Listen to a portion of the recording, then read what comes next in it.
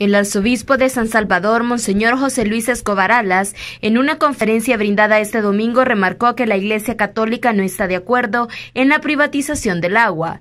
El arzobispo sostiene que el ente rector debe estar conformado solo por el sector público del país.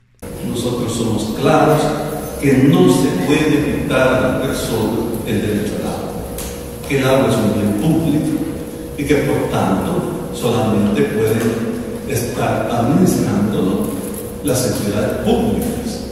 Es su cometido, es su deber del gobierno de un Estado. Y así es en todos los estados.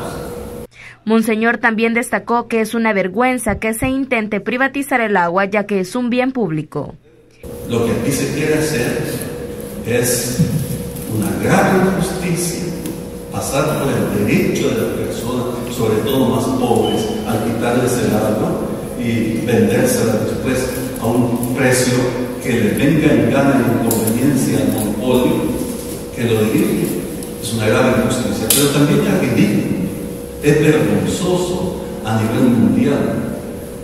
¿Qué país civilizado tiene, tiene el agua en manos de la empresa privada? Oigan ustedes, es una pena, es una vergüenza que se piense en tal aberración jurídica.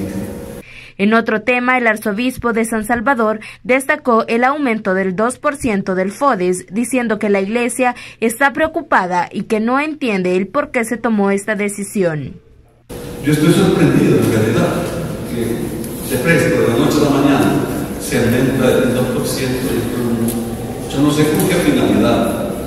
La idea del FODES es magnífica y está en todos los países civilizados, ¿cómo no? Eso es magnífico pero aumentar un 2% debería ser fruto, entiendo yo, de una reflexión serena y, profunda, con estudios previos, para no dar un paso en falso que venga a afectar a la nación. Eh, este es un informe de la prensa gráfica.com.